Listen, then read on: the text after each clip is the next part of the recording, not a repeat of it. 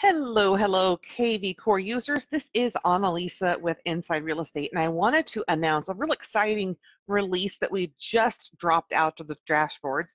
And this is a merge contact feature.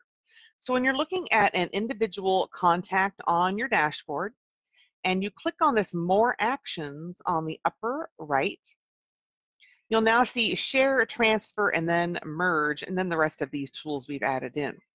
Now, merge can come in handy. Maybe you've got a husband and a wife who've registered, but you want to merge those together. Or maybe somebody forgot their password, created a new one, uh, sign in, and you know you want to merge the old and the new together. This gives you that opportunity. So you click on More Actions, top right, and then Merge Contact. And a little pop-up is going to land about the middle of the top.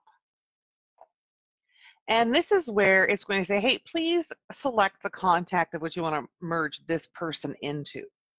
So you click into uh, this field here and you just start typing in the entity of which you want to match them with. And the system will bring up your leads. And then you have the ability to choose whomever you want to connect and merge with and it'll tell you who the lead owner is, who it was originally assigned, and a little extra information here.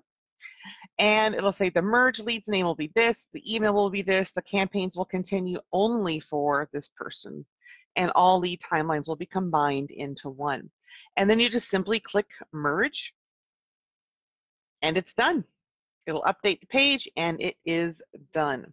So again, when you're looking at a contact and you want to merge, just click on this upper right hand side, more actions, merge contact.